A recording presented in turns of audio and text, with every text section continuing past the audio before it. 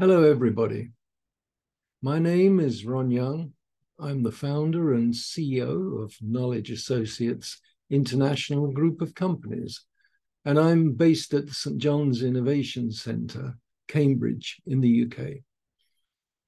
I would like to warmly congratulate GO-TKM as the global organization of tacit knowledge management in its key objectives to support government policymakers, advise decision makers, and unify global research and development in theory and practices for tacit knowledge management.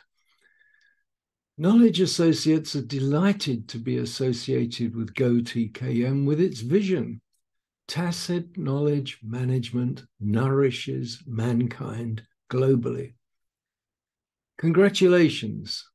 We look forward to collaborating and co creating together.